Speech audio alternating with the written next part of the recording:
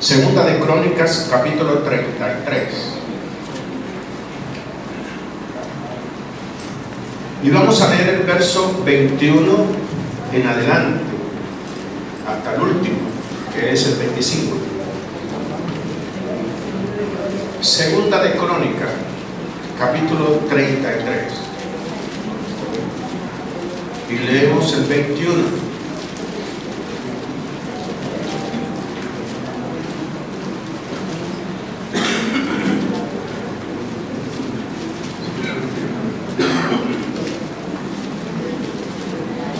¿Ya lo tienen?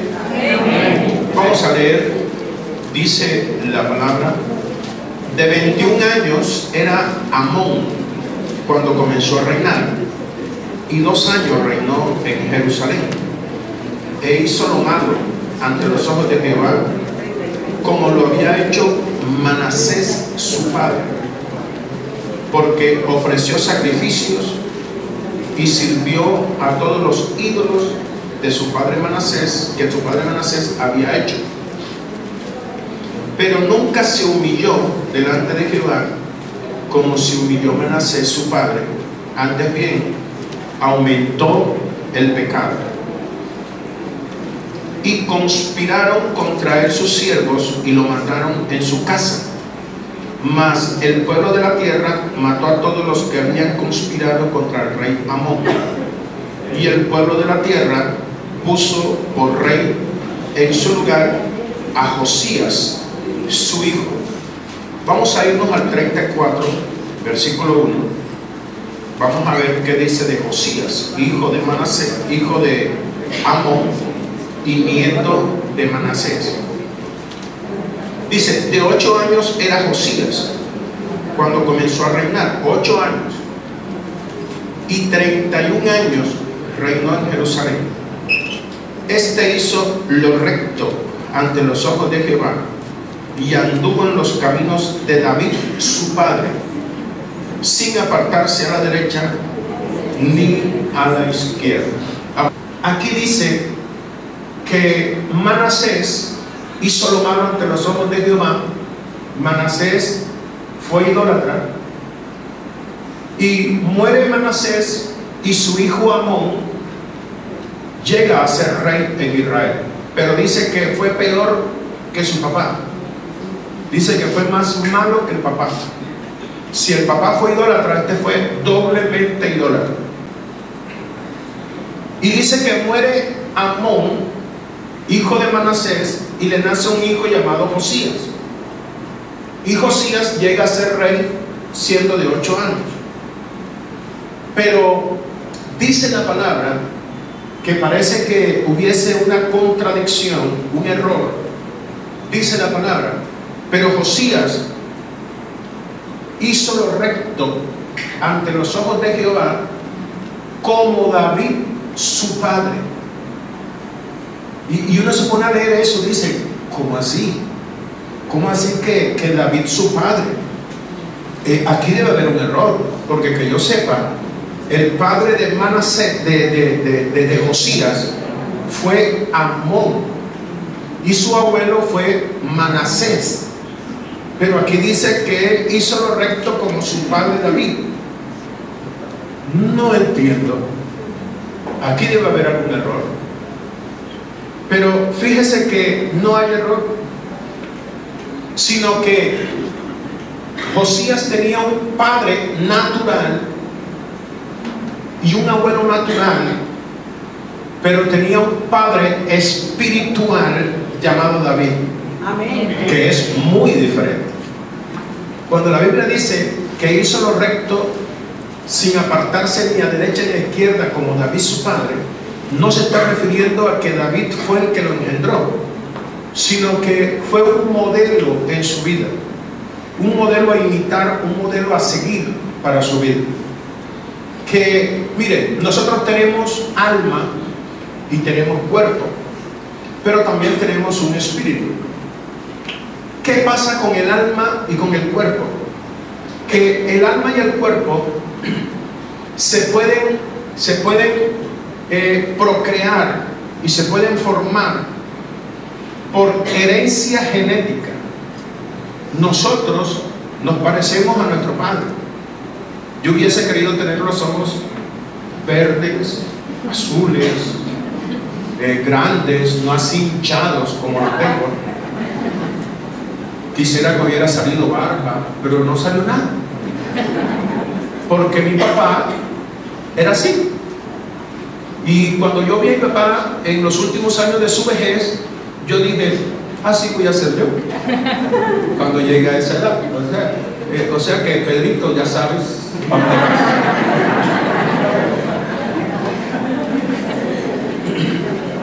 Miren, ahora, eh, eh, genéticamente yo traigo una fisionomía heredada, físicamente, o sea, mi cuerpo hereda por los genes todo lo de mi padre. Y también emocionalmente, eh, mi personalidad tiene mucho que ver cómo era mi padre. Porque también se hereda todo eso. Es más, nosotros heredamos el pecado. Hasta de Adán venimos arrastrando pecado que se va heredando por los genes. Dice la palabra que hay maldiciones que se pueden, que se pueden heredar hasta la tercera y cuarta generación que nosotros vamos heredando costumbres, malas costumbres. Vemos en la palabra del Señor que Abraham miente y dice que su esposa era su hermana. Pero más adelante, en el capítulo 26 de Génesis, habla de Isaac, hijo de Abraham, que también miente y dice que su esposa es hermana. Y uno dice, epa, estos parecen padres e hijos. Pues sí, padres e hijos. Porque aún las malas mañas las heredamos de nuestros padres.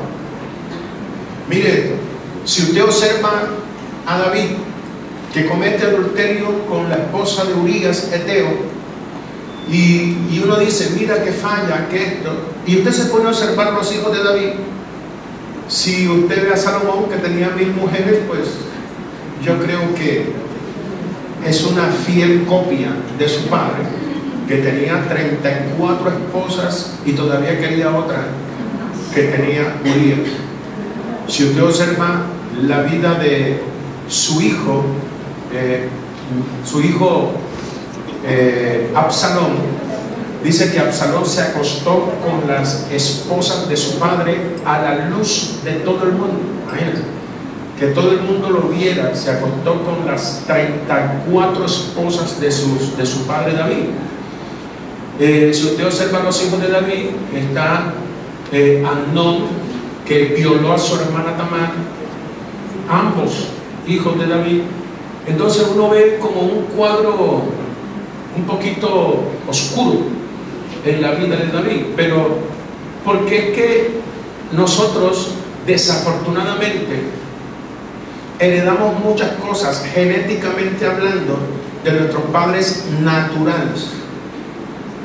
Pero tenemos un espíritu que es diferente, porque el espíritu humano no hereda las cosas naturales. Lo que hay en el espíritu no viene por genética, sino que viene por creación. El espíritu nuestro dice la palabra que lo hizo Dios Recuerda que cuando fuimos creados, dice, y Dios sopló espíritu en él y le dio vida. O sea, el espíritu nuestro es diferente porque ese no viene de nuestros padres, ese viene directamente del cielo. Parece que no me ha entendido.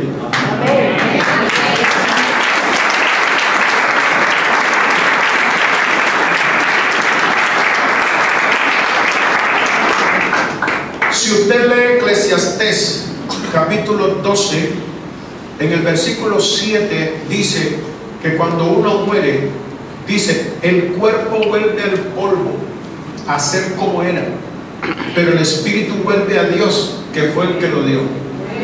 O sea, lo que está diciendo es que el espíritu no tiene nada que ver con tu destino final. Tu cuerpo se vuelve polvo, tu alma tiene que rendir cuenta, pero el espíritu es de Dios y vuelve a Dios. Y ese espíritu que tenemos de Dios está dentro de nosotros. Está en nuestro interior. Y ese mismo modelo de espíritu es el mismo modelo con el cual hicieron los ángeles. Y recuerden ustedes que los ángeles podían transformarse, podían tomar fisionomía. Y esos ángeles, muchos de ellos cayeron y se volvieron espíritus inmundos y son de los cuales yo les he hablado, que tienen esa particularidad de tomar la personalidad de alguien que ya murió. Entonces, esa misma peculiaridad, cualidad de los espíritus inmundos la tenemos nosotros en nuestro espíritu, porque el que lo creó es el mismo y la esencia y la naturaleza es la misma. Entonces, nosotros tenemos un espíritu que puede, puede fijarse, puede fijarse en un modelo y adoptar ese modelo en su vida. A ver si usted me, si me hago entender que usted lo pueda captar. ¿Qué quiere decir eso? Que aunque Josías era hijo de Manasés, nieto de Manasés, hijo de Amón, y eran gente eh, poco recomendable, sin embargo, él procuró buscar otro modelo en su vida. Y comenzó a ver la vida de David. ¿Cómo era David? La forma de ser David, la entrega de David con Dios. Cómo David hizo las cosas correctas delante de Dios. Y entonces él comenzó a admirar y a copiar, a imitar a David. Y cuando uno, y cuando uno admira a alguien, se vuelve hijo de ese a quien tú admiras.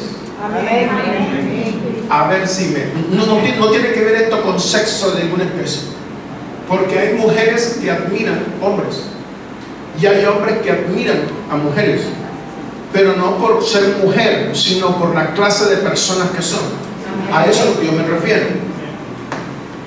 Entonces, Josías admiraba a David y lo veía como un modelo a seguir, como alguien digno de imitar, como una persona que vale la pena. Y entonces él comenzó a ver cómo actuaba. Cada vez que se veía en una situación, él decía, ¿cómo actuaría David? Según como David actuaría en esta situación, yo voy a actuar, porque ese es mi modelo. Y comenzó a, a alimentar su espíritu con la personalidad de David.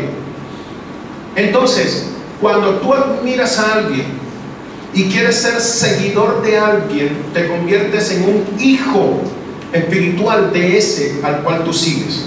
A ver si me hice entender. Todos nosotros tenemos personas que admiramos, ya sea por su belleza, ya sea por su forma de ser, ya sea por su inteligencia o ya sea por su éxito en esta vida. Pero nosotros siempre tenemos un modelo en diferentes áreas. Nosotros podemos tener nuestro espíritu, escuche bien, nuestro espíritu es una colcha de retazos que quiere ser, tiene un pedazo que quiere ser físicamente como aquel. ¿Verdad? Las niñas tienen eh, actrices que ellos quisieran ser como ellos, en el físico. Entonces, ese es su modelo de la parte física. Y le ven el cuerpo y quieren hacer ejercicios y ser como aquella y, tener todo y, y vestir, ya no como esta, con la belleza de esta, sino vestir como la actriz y modelo elegante de acá de este lado. Entonces, tengo en mi espíritu el modelo del físico de esta, pero tengo en la forma de vestir de esta. Pero hay una actriz o hay una persona en el mundo que tiene una personalidad fuerte, decisiva, echada para adelante. Y entonces esta mujer quiere ser con esa personalidad, con ese temple con, esa, con ese temperamento y con ese carácter. Entonces tiene en su espíritu un modelo en el físico, un modelo en la forma de vestir, un modelo en el carácter, un modelo en la inteligencia, un modelo en la madurez, un modelo en la forma como llevar, en la sabiduría de llevar su hogar. O sea, nosotros tenemos, nuestro espíritu es una colcha de diferentes modelos que han ido formando nuestra vida. Y así como ese eh, robot de Terminator 3 que veía una fisionomía y enseguida cambiaba de forma, así es nuestro espíritu. Vemos una persona, la admiramos, tomamos ese modelo y comenzamos nosotros a trabajar. Y esta es una cosa que sucede por intuición. ¿Qué es eso, pastor? O sea, te voy a explicar. Los seres humanos captan todo por los sentidos, los sentidos naturales y con la mente de su alma. O sea, tú todo lo que escuchas lo percibes aquí y lo captas en tu mente. Tú para poder entender algo tienes que escucharlo con calma para poder discernirlo en tu mente y poder entenderlo. Así somos los seres humanos. Pero los espíritus no tienen mente. Entonces los espíritus no pueden escuchar y entender. Los espíritus no tienen problema de memoria. Porque los espíritus trabajan con intuición, no tienen mente, sino intuición. O sea, Dios se comunica con nosotros por intuición. Y nosotros nos comunicamos con Dios por intuición. Tú te conectas con los espíritus de las personas por intuición. Y los espíritus de las personas se conectan contigo por intuición. Y es cuando tú ves a la persona y dices, esa persona me parece muy buena persona. E, e, esa que anda contigo me parece muy buena persona. Pero si tú no la conoces, no sé, me he conectado y siento que es buena persona. Pero ¿sabes una cosa? Ese amigo con que tú andas me da mala espina. Yo siento algo raro allí. Pero tú cómo lo sientes? ¿Cómo lo captas?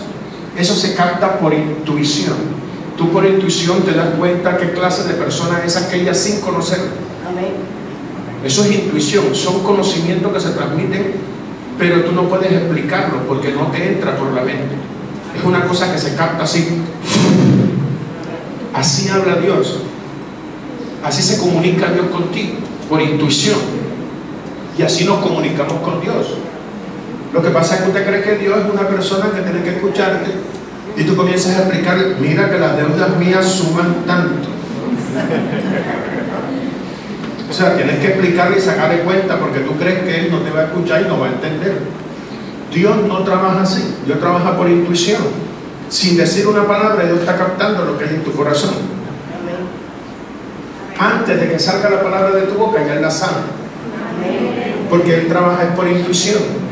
Entonces, los espíritus como el que tú tienes aquí dentro de ti, Él trabaja por intuición. Él capta por intuición. Entonces, tu espíritu tiene algo y es que Él quiere ser como aquel al cual tú admiras. Y va cogiendo ese modelo por intuición. ¿Qué quiere decir eso?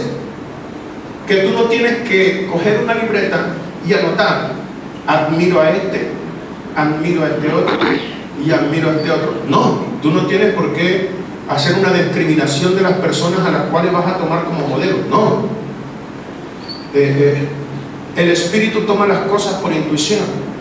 Hay personas aquí que se congregan en este lugar, pero son hijos espirituales míos. Pero otros no.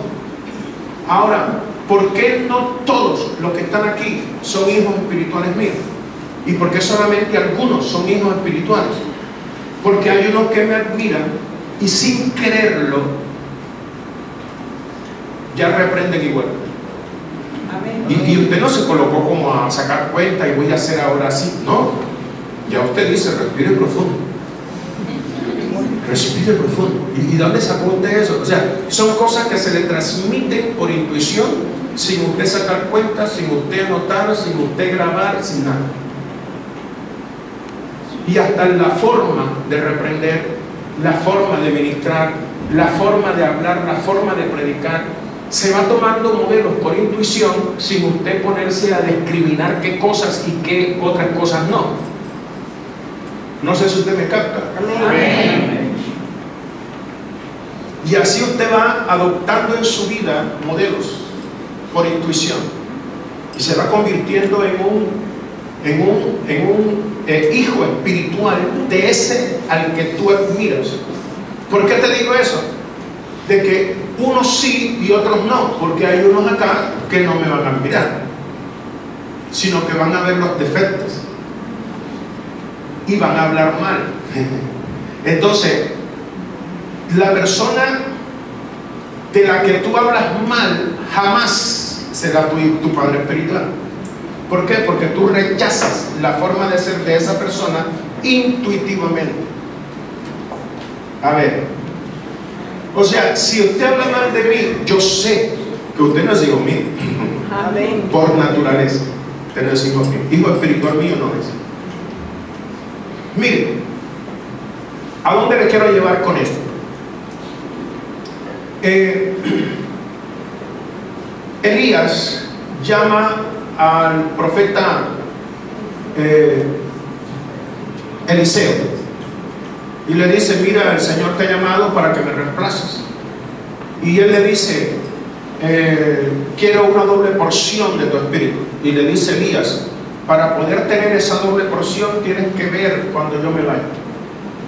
Y este hombre iba, andaba detrás de Elías para todos lados. Pero dice la palabra que los hijos de los profetas llegaron donde Eliseo le dijeron, tú no sabes que tu maestro va a ser retirado de ti. Sí, yo sé. Y después más adelante dice, y los hijos de los profetas llegaron donde Eliseo y le dijeron. Y, y yo me quedé con que los hijos de qué? Los hijos de los profetas. ¿A quién le llamaban hijos de los profetas? A los discípulos de los profetas. A las personas que se sentaban a aprender, a recibir de sus maestros. Son personas que decían, yo quiero ser profeta como tú. Bueno, entra, entra al curso, entra y, se hacían parte del grupo de los hijos de los profetas. Y por andar con el profeta, recibían ese ministerio profético en sus vidas, por herencia, por intuición. A ver si usted me, me capta. Entonces cuando dice, cuando dice que Josías, hijo de David, no se refiere a que David fue su padre, sino que se refiere a que, que David era su modelo a seguir, su padre espiritual. Y por eso yo te preguntaba cuando comenzamos, la práctica se llama ¿y tú de quién eres hijo? ¿Tú de quién eres hijo? Porque no me refiero a tus padres naturales. ¿A quienes admiras? ¿Cuáles son las personas que tú tienes como modelo en la parte física? O en la parte ministerial, porque nosotros tenemos, yo tengo pastores amigos que yo admiro y que tengo cosas que me agradan de ellos y que yo quisiera tenerlas. Entonces, voy tomando inclusive, tengo como 10, 10 pastores muy queridos que yo escucho porque me gusta, su ministerio me gusta. Entonces hay unos que me gusta la forma como ministra, a otros me gusta la forma como predica, a otros me gusta su sabiduría cuando desarrolla sus mensajes. Y en fin, o sea que mi ministerio es una colcha de muchos padres espirituales que yo tengo, que yo admiro. Amén. Y en tu vida personal, tú debes tener un modelo o un padre espiritual al cual tú admiras y respetas y quieres ser como ellos. Sí, yo creo que ya sí me están entendiendo. Mire, vamos a seguir, les voy a llevar por otro pasaje para que ustedes observen esto. ¿A dónde les quiero yo llegar? Jesucristo llega donde los fariseos, acá en, en Juan capítulo 8, y le dice, vosotros sois de vuestro padre el diablo. Le dice Jesús. Y dice yo, epa, ¿cómo así? Un padre tenemos que es Abraham. Y le dice Jesús en el verso 39, 8.39 de Juan, le dice, si fuerais hijos de Abraham, las obras de Abraham haríais. O sea, que naturalmente sabemos nosotros que esos fariseos de esa época tenían sus padres, sus abuelos en ese tiempo, porque Abraham es de un tiempo muy lejano atrás. Y lo que están hablando ellos es de hijos, pero de padres espirituales. Cuando Jesús le dice, vuestro padre es el diablo, o ustedes sois de vuestro padre el diablo, Jesús lo que le está diciendo que espiritualmente ustedes han tomado ese modelo. Entonces le dicen ellos, tenemos un padre, que es Abraham. Le dice, si vuestro padre espiritual fuera Abraham, las obras de Abraham harían. Pero ustedes son de vuestro padre el diablo. Y le dicen ellos, ¿y, tú por qué dices eso? Que vuestro padre es el diablo. Y le dice Jesús, porque las obras de vuestro padre el diablo son las que ustedes hacen. O sea, el modelo de ustedes es Satanás.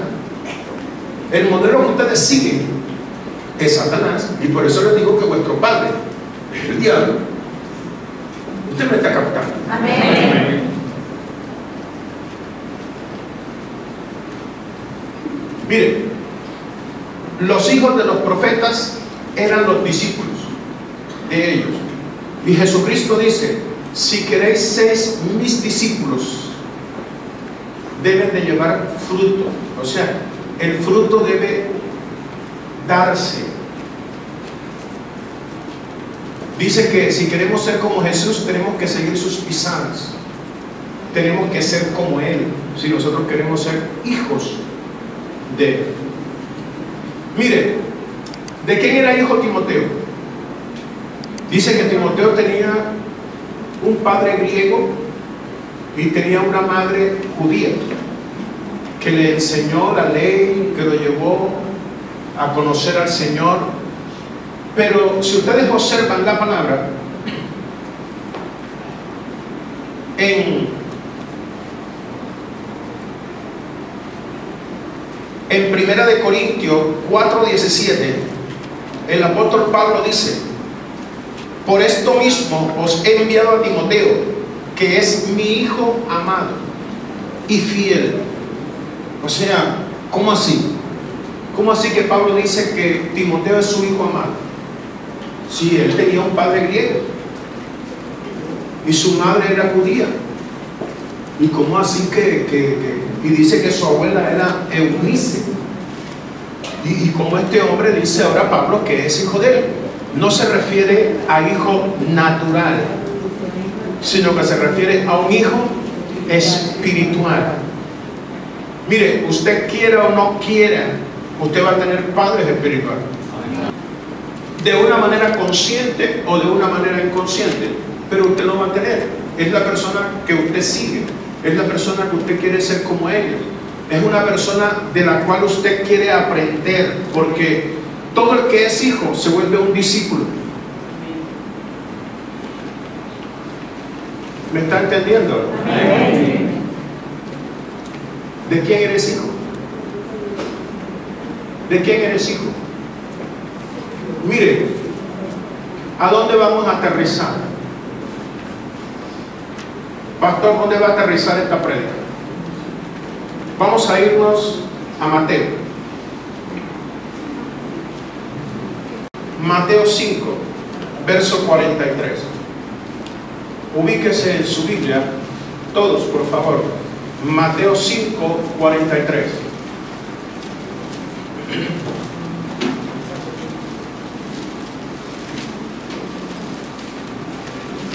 ¿Ya lo encontró? Bien. Dice Jesús a sus discípulos. Le dice, oísteis que fue dicho, amarás a tu prójimo y aborrecerás a tu enemigo. ¿Ustedes escucharon eso? Sí, nosotros escuchamos eso. ¿Por qué? Porque en la tradición de los judíos se enseñaba que uno debía amar a sus amigos, pero tenía que odiar a sus enemigos. Eso estaba en la tradición de los judíos, no en la Torá. Si lo va a buscar en la Torá no lo va a encontrar, sino que estaba era en el Talmud o, tradición de los ancianos. Pero Jesús viene y le dice en el 44, pero yo les digo a ustedes hoy, amarás a tu prójimo. Perdón, amad a vuestros enemigos, bendecid a los que os maldicen, haced bien a los que os aborrecen y orad por los que os ultrajan y los persiguen. ¿Cómo así? Pues que yo sepa, esa gente no hay que hablarle. Esa gente, si es posible, hay que darle duro. Pero Jesús dice, tienes que amar a tu enemigo. Epa, esto está como complicado aquí. Porque yo quería como pegarle una rastradita así como por el pelo. Y dice Jesús, tienes que amarla. Tienen que orar por ella. Tienen que bendecirla. Aló. O sea que ya comienza a cambiar como la mentalidad porque tú querías era otra cosa. Tú querías dejarla sin cabello. Pero, pero el Señor lo que te dice es, tú tienes que bendecirla, tienes que amarla y tienes que orar por ella. ¿Qué tal? Y tú tienes que bendecirla. O sea que ya eso de estar orando diciendo que la aparta un rayo ya no puede orar. que la aparta dos ya no puede. Usted me está entendiendo, ¿verdad? Ahora, ¿por qué Jesús dice eso? ¿Por qué? Mira el versículo que sigue, el 45. Tú tienes que hacer eso de amar a tu enemigo, bendecirlo, hacerle bien y orar por él. ¿Sabe por qué? para que seáis hijos de vuestro Padre que está en los cielos. O sea, ¿cuántos son hijos de Dios aquí? ¿Estás seguro? Última palabra. ¿Por qué te digo eso? Porque nuestro Dios tiene una forma de ser. Y si nosotros somos hijos de Él, tenemos que, como ese robot, tomar ese modelo en nuestra vida. ¿Modelo de qué? Físico. No, en comportamiento. En aptitud, en forma de ser. Y le dice Jesús, para que ustedes sean hijos de vuestro Padre Celestial, tienen que ser como Él. Él no ataca a sus enemigos. Él no jala pelo al loco. Él no arrastra. ¿Cuántas arrastradoras hay aquí?